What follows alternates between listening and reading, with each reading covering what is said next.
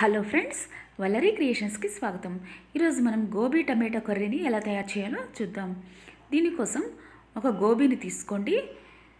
గుత్తులుగా తరిగి శుభ్రంగా కడగండి. నీళ్ళన్నీ వంచేయండి. రెండు పెద్ద సైజు ఉల్లిపాయలు నాలుగు పచ్చిమిర్చిని తీసుకోండి. వీటన్నిటిని సన్నని ముక్కలుగా తరగండి. రెండు పెద్ద సైజు టమాటాలను కూడా తీసుకోండి. టమాటాలు ముక్కలుగా తరిగి కొత్తిమీరని కూడా తీసుకోండి. ఒక గిన్నెలో సగానికి నీళ్ళు వేసి ఒక స్పూను ఉప్పు వేయండి. ఈ గిన్నెను స్టవ్ మీద పెట్టి నీళ్ళు బాగా మరిగించండి. నీళ్ళు మరిగిన తర్వాత గోబీ గుత్తుల్ని దీంట్లో వేయండి. కొద్దిగా ముక్క మెత్తబడేంత వరకు ఐదు నిమిషాల వరకు ఉడికించి నీళ్ళన్నీ వంచేయండి. బాణి పెట్టి సగం కప్పు ఆయిల్ వేయండి.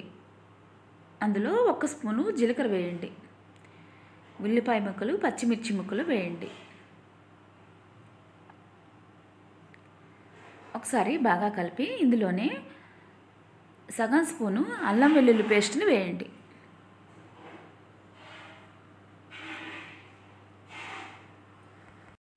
ఇందులోనే సగం స్పూను ఉప్పు వేయండి.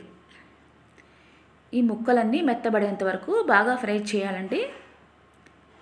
దీనిలోనే టమాటా ముక్కలు కొత్తిమీరను కూడా వేయండి.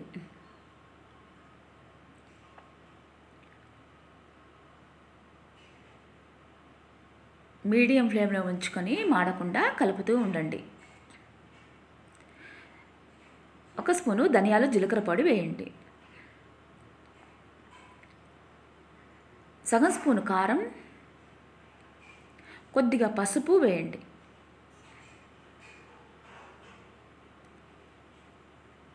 కొద్దిగా గరం మసాలా పౌడర్ కూడా ఇందులోనే వేయండి. ఇవన్నీ బాగా ఫ్రై అయిన తర్వాత ఉడికించుకున్న గోబీ ముక్కల్ని కూడా వేయండి. ఒకసారి బాగా కలపండి. ఇందులో సగం గ్లాసు నీళ్ళు వేయండి.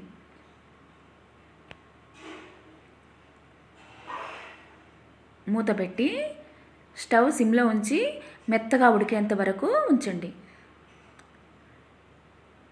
బాగా ఉడికిన తర్వాత స్టవ్ ఆఫ్ చేసుకోండి. ఇది చపాతీలోకి రైస్లోకి రోటీలోకి అన్నిట్లోకి బాగుంటుందండి.